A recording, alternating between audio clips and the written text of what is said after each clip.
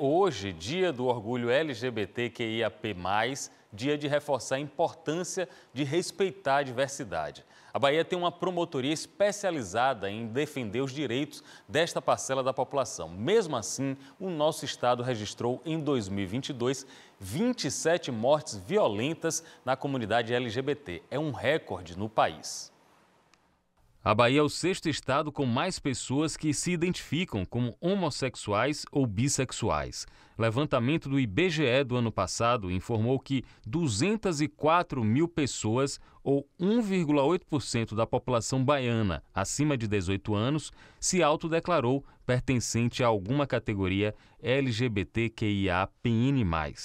Outro dado importante: em cinco anos, o número de alterações de nome e de gênero na identidade mais do que triplicou na Bahia. No primeiro ano da lei, entre junho de 2018 e maio de 2019, foram 69 alterações. No mesmo período entre 2022 e 2023, foram 212 alterações. A Bahia é o único estado do Brasil que tem uma promotoria de justiça especializada em atender e garantir direitos desta população.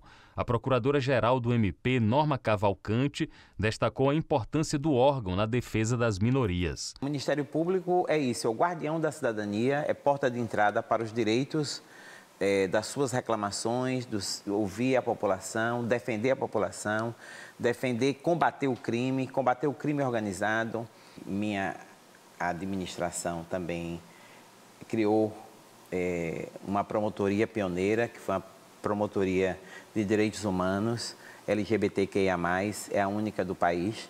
Acho que todos têm direitos, todos têm direito de serem incluídos. Mesmo com ações para reforçar o respeito à diversidade de gênero, a violência ainda assusta. A Bahia foi o estado que registrou mais mortes violentas de pessoas LGBT em 2022. Foram 27 contra 25 em São Paulo, 20 em Pernambuco e 18 em Minas Gerais, segundo um levantamento do Grupo Gay da Bahia. A comunidade cobra mais ações públicas capazes de diminuir e punir os episódios de preconceito executando políticas de acordo com o que nós já aprovamos lá em 2008, né, o tripé de cidadania, por exemplo, tendo coordenação, conselho e posições ou funções LGBT em todas as instâncias governamentais, inclusive nos municípios também, porque aí nós estaríamos enfrentando de forma direta todo tipo de violência. E o telefone do Ministério Público para denunciar é 127.